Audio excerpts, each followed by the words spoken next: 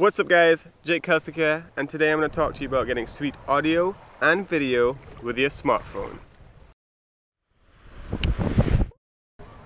Okay, so basically the setup I'm using consists of a GoPole Triad grip, a GoPole phone clip, and then obviously my smartphone paired up to a Rode Video Micro.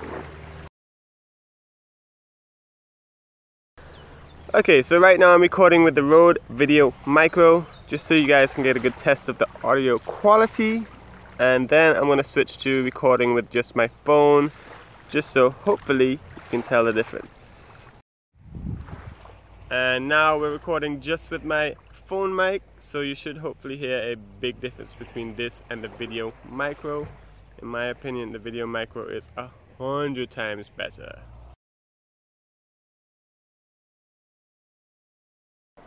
The cool thing about the Triad Grip is that it's a super versatile mount. It can be used with the phone setup like I'm using it here. It can also be used with a bigger camera setup if you want to, you know, later down the road. It can also be paired up with GoPros and pretty much the whole range of GoPro accessories. So all around the Triad Grip is a super versatile tool that I would highly recommend to anyone that's shooting with a phone or GoPro and just wants to get steady shots and also have the ability to attach a microphone. Session then, Baba? Nice. Yeah. Not that much wind, but enough to just get wet.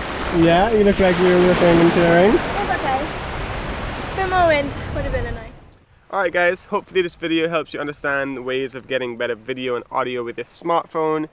If you want to find out more about all the gear I talked about, everything is linked in the description below, so make sure you go check it out. And if you enjoyed this video, feel free to leave a comment and of course subscribe just so you don't miss out on any future videos and I'll see you guys in the next video. Big ups!